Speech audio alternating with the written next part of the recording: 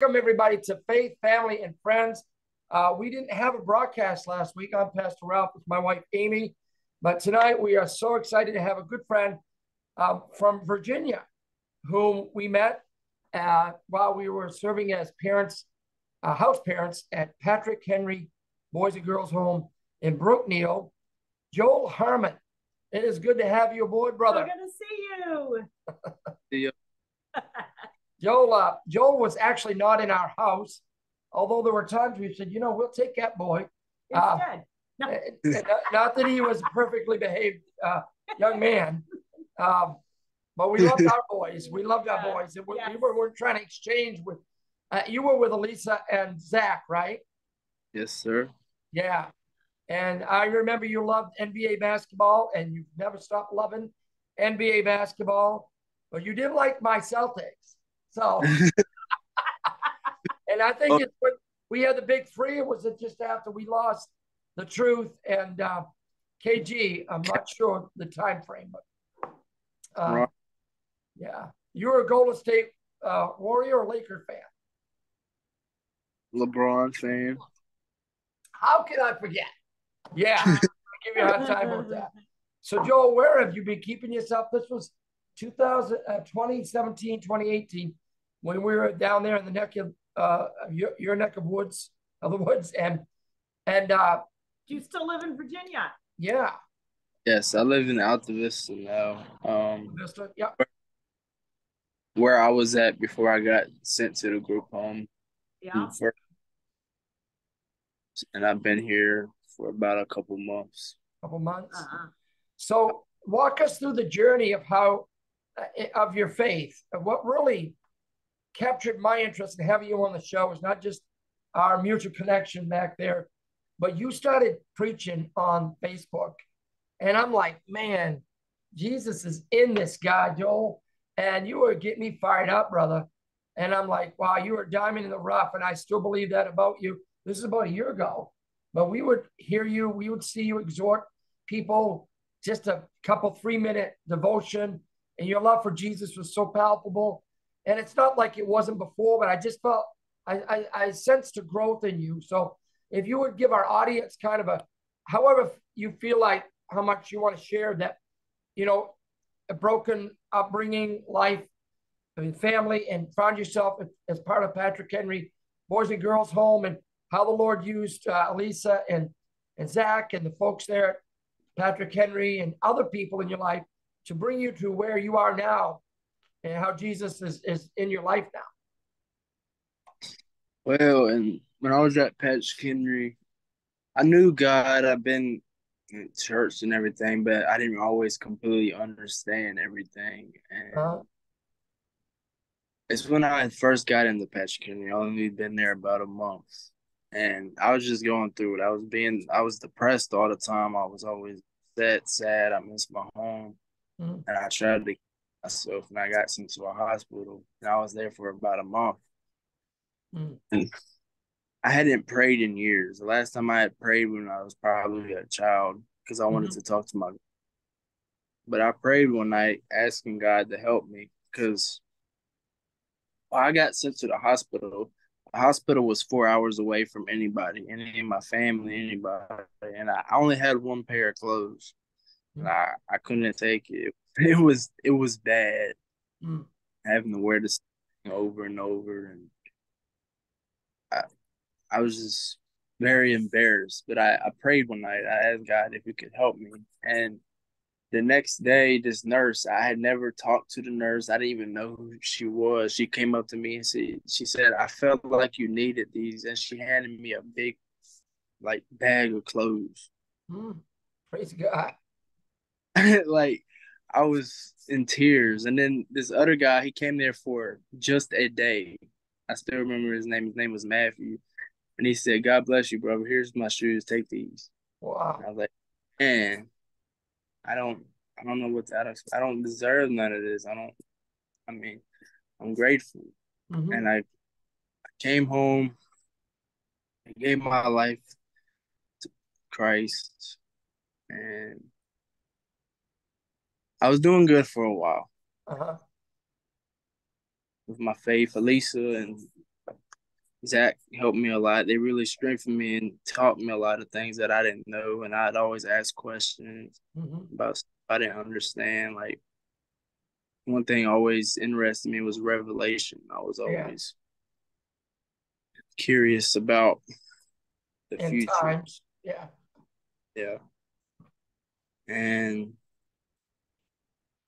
it helped being at Patrick helped me a lot because before I got sent there, I was I was I was young, but I got into drugs at a young age because mm-hmm. I was trying to deal with the sadness and the trauma I dealt with as a kid. Okay. Mm. But being there helped me a lot because I, I didn't have to worry about that, and I could go just give all my problems, all my worries, anything to God because He can away any sadness, any addictions, any thing that we struggle with. Mm-hmm. And that's one thing that really helped is being surrounded by not just kids that believe in Christ, but also adults as well right. that are more whereas I am. Mm-hmm. Be good role models, right? What you needed, right? Because mm-hmm. yeah. I really had many Christian role models. mm-hmm. Yeah. Wow. Yeah. So oh. you you did you graduate out of the program or graduate from high school and what happened after after your your um being down at Patrick Henry Boys and Girls Home? I got I got out when I was 18 and I went to Appomattox and graduated from there. Okay. And it took me a while before I got a job, but then I got a job. But then I I started to slip up. I slipped up again. I kind of got back into my old habits, mm-hmm. old problems that I dealt with, the addictions. I even got back into drugs again. Mm-hmm. And it happens. Last year, um, something changed that really changed my entire life. Hmm. I was working at Walmart. I was missing work all the time. I was being lazy. I was not trying because mm-hmm. I, again, I had gotten back into my addictions, and then I had gotten back into being depressed all the time, and I was worrying about family issues and a lot of things. Mm-hmm. I got fired from Walmart, which made things a lot harder. Yeah. And I walking home, contemplating my life, thinking about suicide again. And then I got home. I just I felt like I had the longest prayer of my life. I like, I just need your help. I need your help. And I texted an old friend of mine I hadn't talked to in years. And she invited me to church. I was like, man, I kind of ain't been to church in so long. I don't know. I and like I haven't seen, saw this person in a while, and it was a church I've never been to. But I was like, you know what? It doesn't matter. Right. It's church. It doesn't matter. It's come as you are. It doesn't matter if you don't know anybody. It doesn't matter anything. Church is like a hospital for all the sick. That's right. Preach it. It can sick physically, emotionally. Jesus can cure anything. Amen. Mm-hmm. Sure can. And went to church, and it was honestly the service spoke to me a lot because it had been the pastor had talked about a lot of things that I was dealing with anyway. Problems with addictions, problems with sadness, depression, the things that are attacks, like what this says, Ephesians 6, there are many attacks. Yes, mm-hmm. that's right from the devil and from demons and everything. There's always a spiritual warfare going on, and we have to learn how to fight it, how to mm-hmm. Prepare ourselves against it, and to help to help other people against it. Yes. Yeah, it's a thing. It's going on at all times. All times. Yeah. And it's, it's not just people think it's just our minds, but it's also the things we look at. Like just mm-hmm. watching, for instance, can be an attack in some way, it can trigger a person in some way or mm-hmm. hurt some way. So we had to we had to stay strong. We had to follow what God tells us to do at all times. Because Amen. That's what I learned.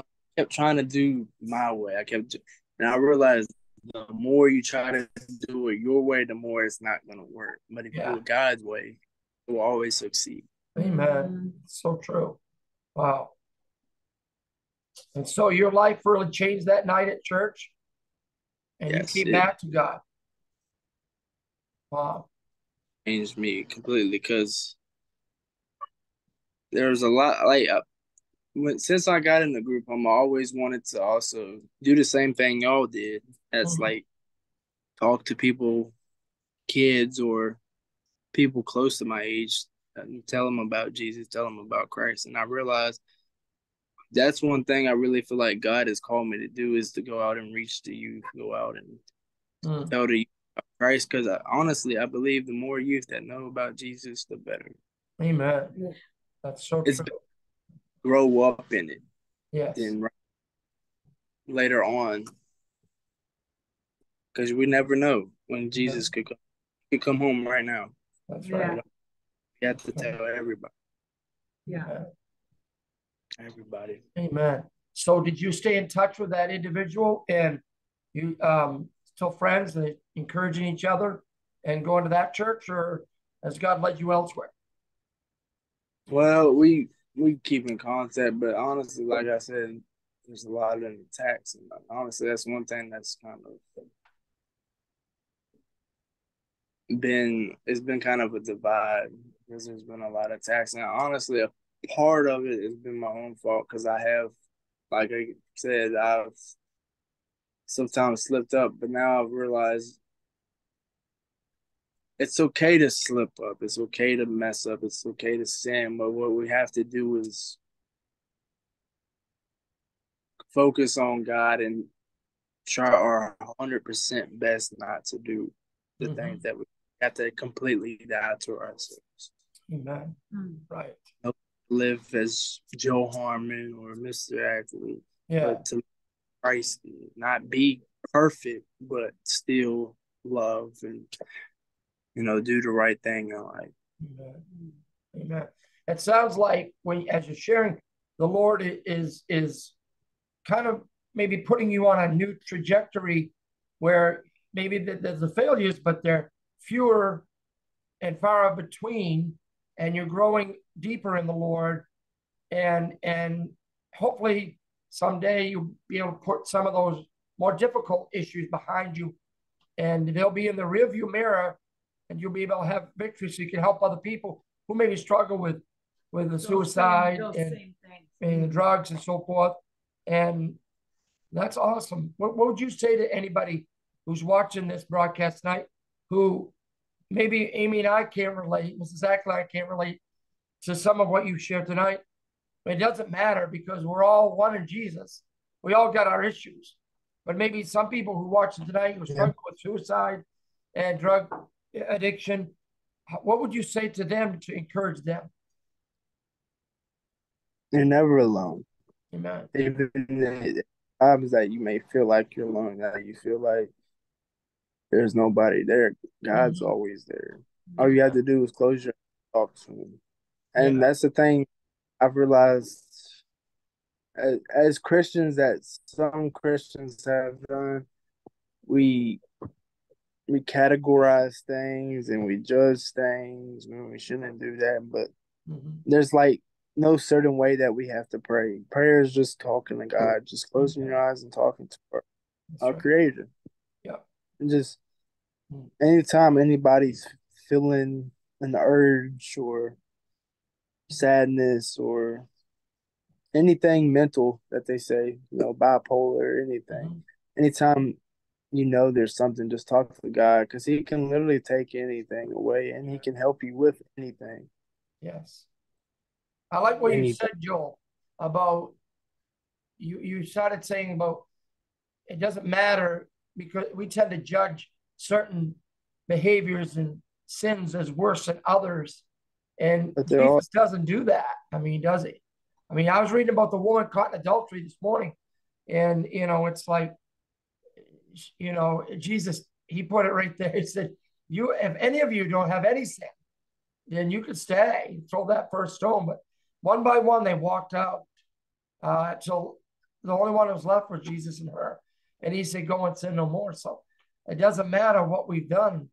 Um, and I think people feel like, boy, God could never forgive me of this. Mm. Uh, and so when, when you share your story, again, it, it reaches somebody maybe that I can't reach who might tonight be struggling with, you know, the thought about taking their life and ending it all or, you know, hitting it up on another drug. So um, you feel like your life is an example of, of hope for other people? Yeah. Yeah. Amen. Hope is through Christ. Like this is my favorite Philippians four thirteen. I can do all things through Christ me. That means anything in your life. If you give to Christ, you can do it. You can beat drug addiction. You can beat that mental illness. You can beat that sickness. You can beat anything. Just with God. Just give mm. him all your worries, your concerns, everything in life. Just give it your all. That's why it says to do everything as it is glorifying God. Even to the point of eating and drinking, mm-hmm. we're supposed to glorify God all things. Amen. Amen. Well, can you pray for those people who are struggling tonight that God would make a difference in their heart? Maybe they'd even come to Christ. Then I'm going to pray for you, brother, and uh, and then we'll try to reconnect sometime. Do this again. Go ahead. Amen. Yeah. Dear Heavenly Father, Lord, I thank you for anybody and everybody that watches this, Lord. I just ask you if anybody's struggling with anything in their mind or an addiction or anything that's just been dragging them down, Lord, I just ask you to help them learn and help them grow closer to you where they'll be able to be set free from each and everything they're dealing with because through you christ all things are possible and anything is possible. Because god you do all things. You perform miracles every day you do everything for the ones that you love you loved us so much that you died on the cross and you will love us so much that you can save us from anything all we have to do is talk to you and ask you and have a deep and intimate relationship with you we thank you jesus christ for you do. Even in the times have struggles, or even in the times we have battles, you always help us through everything. Because, like it says, even if there is a storm, there's always a rainbow at the end. There's always a sun shining. God can take you out of the dark places in your life. You may be in the valley, but God can take you up to the mountain. Amen. He can strengthen anybody, do anything for anybody. And I just thank you, Lord, for always just helping us when we need it the most. We love you, Jesus Christ, and we thank you for down on the cross that we can live for you. In Jesus' name that I pray. Amen. Amen. Lord, I pray for Joel, Amy, and I just agree together that you continue to walk with him and all the good that you have done in his life from dying on the cross for him to putting uh, key people in his life. Uh, I pray for him, Lord, that, that growth in you and that depth that, that he's begun to experience would continue and uh, deepen. Uh, Lord, that you would call him to ministry, show him uh, what that means, because I believe he has a calling of God in his life. And I believe the word of God is like it was with Jeremiah, that it burns within him and he can't withhold. That's like a fire in his bones. I pray that you would just continue to stoke that fire and Lord, let him feed off you and the people of God and the things that would help him grow. Thank you so much for our reconnection. Help it not to end here. And again, for those that he has prayed for tonight, anybody that's listening and watching this show tonight who needs deliverance from drugs or to find Jesus to heal those wounds that would cause them to consider taking their life, I pray that you would, as with Joel in his life, that you would intervene in that person's life, Father, tonight and perform a miracle. We thank you, Father, for it ahead of time. In Jesus' name, amen. Amen. Praise God. Hey, listen, Joel, I want to recommend to you. Um, uh, you got your, your mute off again. I don't know if you want to say any more, but um, and others who are watching, I don't usually plug a book, unless I'm talking to the author. But you would love this book. I don't know if you've heard of it. It's called The Bondage Breaker by Neil Anderson. It's a classic and it will help you. It's helping me again. I read it years ago. It's 30 years old. We're reading it in men's group. I've lost him. I lost Joel. um, if I if I don't get him back, folks, I hope you enjoyed that interview. We will re uh, post it because I know some. There he, there he is. There he. You come back. I don't know. It, it did that twice now. Did it? well, we're gonna finish. But I want. I want. If if you don't have the funds for this, bro, you need to tell me if you do not. Amy and I will get you a copy of this. Uh, it will encourage you. We're doing it with men's group because when you mention Ephesians, and this this it is a spiritual battle what we go through, and we'll send a copy. I've got an extra copy with a workbook. We're gonna send it to you. But thank you for sharing your testimony tonight, bro. And let's thank stay you. in touch and go Celtics, right? we love you. No, go Lakers. we love you, Joe. Let's stay in touch, brother. Good to see you. Good to see you. I'll send you a copy of this later. God bless. God bless y'all.